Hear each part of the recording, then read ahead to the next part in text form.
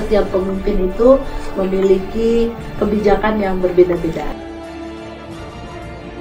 Zaman Pak Ahok pada tahun 2014 saya minta pendekatan kepada beliau Pak ini loh ada hmm. SPTJM yang harus dibuat oleh gubernur terkait hmm. nasib honorer kategori 2 di DKI Jakarta hmm.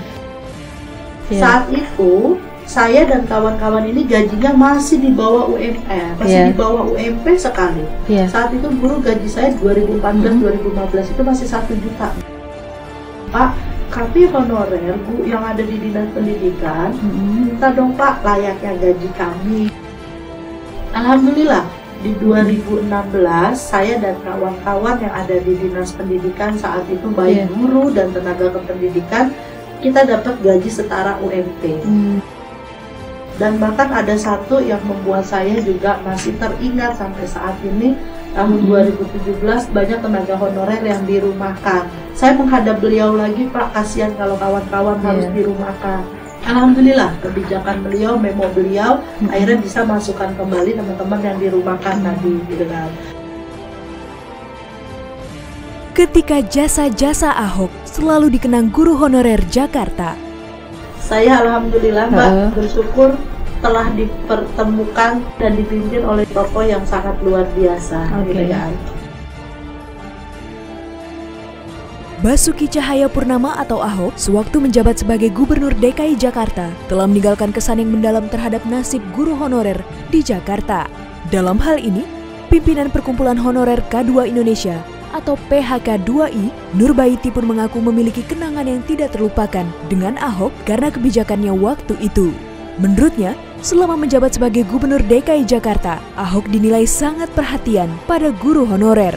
Bahkan, Ahok juga mau menerima para guru honorer untuk sharing dan mengabulkan permohonan mereka, sebagaimana yang ditayangkan dalam podcast jpnn.com saya minta pendekatan kepada beliau, Pak, ini loh ada hmm. SPTJM yang harus dibuat oleh gubernur terkait hmm. nasib honorer kategori 2 di DKI Jakarta. Hmm. Alhamdulillah, beliau welcome, beliau mau dan mendengarkan karena pada prinsipnya Pak Ahok itu kan adalah mantan anggota Komisi 2. Jadi beliau paham lah hmm. apa yang menjadi permasalahan honorer, honorer iya. sebelumnya. Ya.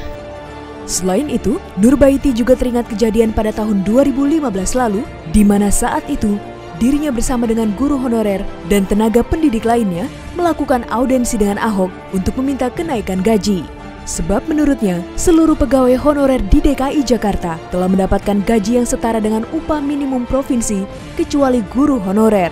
Saat itu, saya dan kawan-kawan ini gajinya masih di bawah UMR, masih yeah. di bawah UMP sekali. Uh-uh. Untuk saya guru, saya coba melakukan audensi sama bapak, hmm. Pak, kami honorer bu yang ada di dinas pendidikan, hmm. minta dong Pak layaknya gaji kami. Yeah.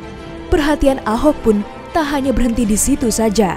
Ketika pada tahun 2017 telah keluar kebijakan untuk merumahkan guru-guru honorer yang belum memiliki gelar S1 dan karena kebijakan itulah Nur kembali menghadap Ahok untuk meminta para guru honorer yang di rumah bisa dapat mengajar kembali. Menyikapi aduan tersebut, Ahok pun mengeluarkan memo untuk memperkerjakan kembali para guru honorer yang sebelumnya dirumahkan. Dan atas kejadian itu, bagi Nur, hal tersebut tidak dapat dilupakan sampai saat ini. Dan bahkan ada satu yang membuat saya juga masih teringat sampai saat ini, tahun 2017 banyak tenaga honorer yang dirumahkan. Alhamdulillah kebijakan beliau, memo beliau hmm. akhirnya bisa masukkan kembali teman-teman yang dirumahkan tadi gitu kan. Kebaikan yang dilakukan Ahok ternyata berbeda dengan apa yang dilakukan Gubernur DKI Jakarta saat ini, Anies Baswedan. Meski respeknya cepat, Nur mengeluhkan kalau hingga saat ini ia belum pernah bertemu langsung dengan Anies Baswedan seiring waktu berjalan sekarang pemimpin kita ganti yaitu Pak Anies hmm. saya juga mengapresiasi kepada beliau gitu kan hmm. beliau orangnya juga uh, cepat tangkap dengan yeah. setiap permasalahan honorer walaupun jujur sampai saat ini kan belum pernah bertemu dan secara oh, langsung oh belum ya. pernah bertemu. belum pernah mbak jadi kita sudah melayangkan surat tapi belum uh, belum hmm. dijadwalkan oleh beliau gitu. Selain Nurbaiti, Sekretaris Forum Honorer K2 Indonesia Pekanbaru, Said Syamsul Bahri, turut mengapresiasi langkah Ahok dalam mensejahterakan guru honorer di DKI Jakarta.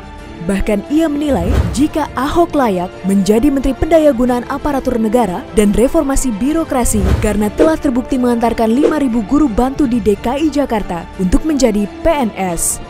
Seperti diketahui, Ahok secara resmi dilantik menjadi Gubernur DKI Jakarta pada 19 November 2014 dan mengakhiri masa jabatannya pada 9 Mei 2017 karena kalah dalam pilkada. Ia pun kemudian digantikan oleh gubernur yang baru, yakni Anies Baswedan.